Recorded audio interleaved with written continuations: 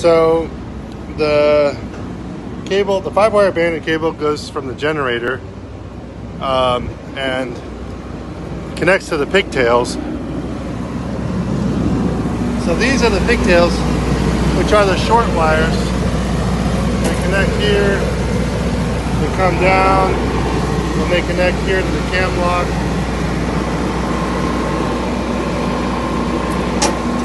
Then they run in five wire banded. That's the cable ramp right there for walking. The five wire banded comes into the distribution box, and then the distribution box connects to the to the generator cable, which connects to the power box, which has the outlets, the outlets for the normal, you know, the normal outlets in there. So that's how it works. This is one version of the uh, distribution box. This is another version of the distribution box.